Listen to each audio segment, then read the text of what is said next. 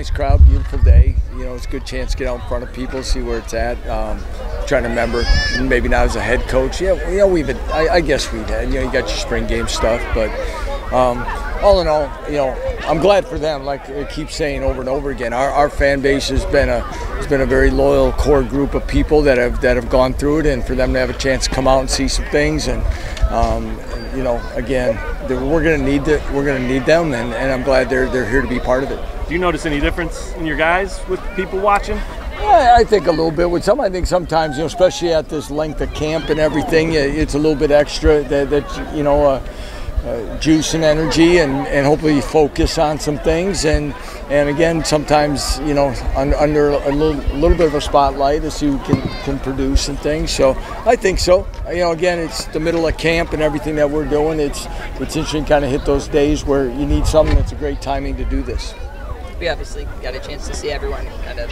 throw today quarterbacks room. I was just curious if you could give maybe an update on maybe the progress of that. Well, progress. They're getting their understanding things again, and we talked to them. You know, we got to be better in accuracy. Okay, uh, you know, and I, I think you know again we're looking at the complete package of who's going to lead the team the right way, who's going to make great decisions with the ball, and then get it to the people that need it, and or or you know keep it in their hands. And and uh, you know, again, it's it's gonna it's gonna go through camp and then some, I think. Um, but uh, you know, we're making progress. Um, some days are better than others, and, and we're going to keep pushing them. And I think Jim Zebrowski's done a great job of, uh, keeping the heat on them, so to speak, and, and and to keep it not not just for when they, it's game day or game night that that they have to go out and produce. So, um, you know, we're making making steps.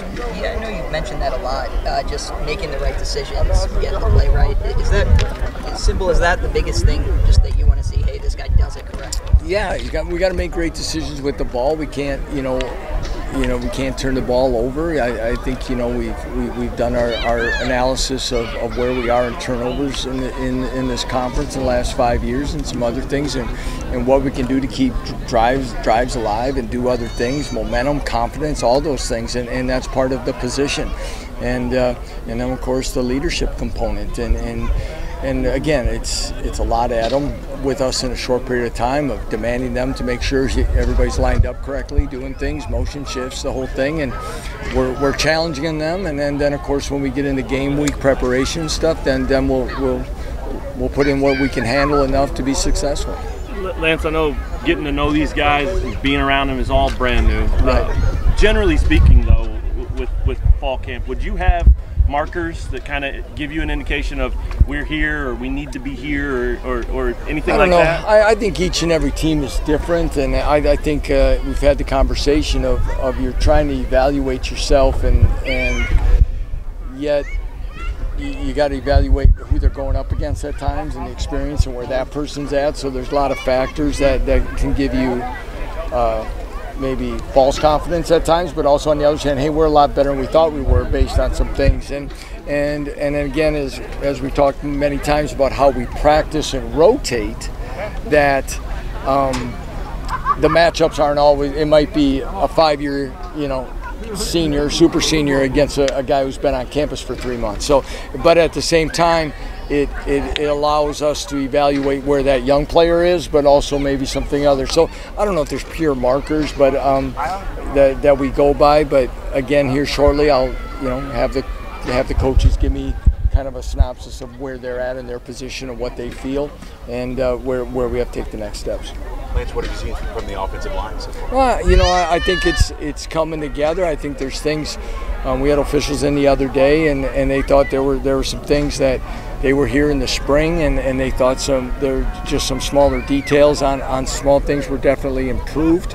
Um, just in lineup mechanics and downfield and some things like that. And, and that's those are those are small positives in this thing as we go. I think Scott is getting a, a good idea of of you know where the pieces may fall and, and where we got to start doing it and uh, you know they're they're understanding uh, you know what we're asking them to do and and hopefully uh, you know especially yeah, well both.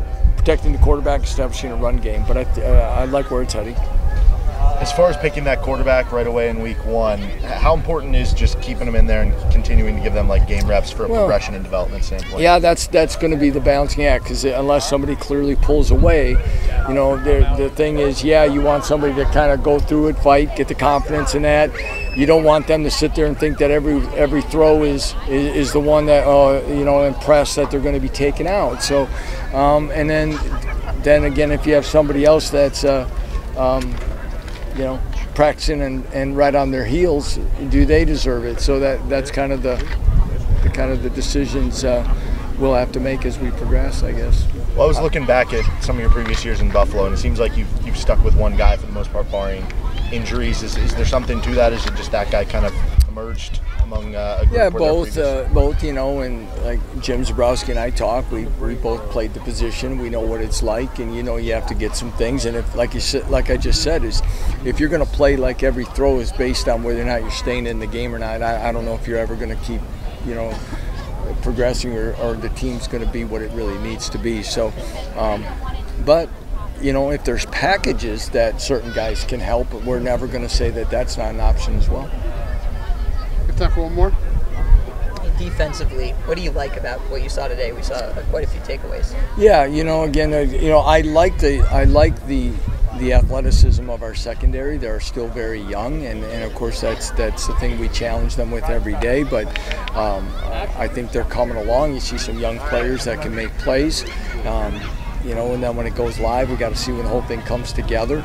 But uh, yeah, that's one there. I think our defensive front is understanding coming together, gelling as well, and. Uh, you know our linebacker crew is uh, you know got a lot on them to get people lined up and it, it's it's coming together there so as in nine practices in I, I, I guess going back to benchmarks I'm pleased where we're at but uh, never satisfied Do you think the defense is ahead of the offense right now? uh, usually they are you know and should be but uh, we'll see. There, there's been some days and some periods within our practices where offense has had some pretty big pretty big moments as well. And it's starting to show some guys that can can be some big play people for us we hope and, and I think that can happen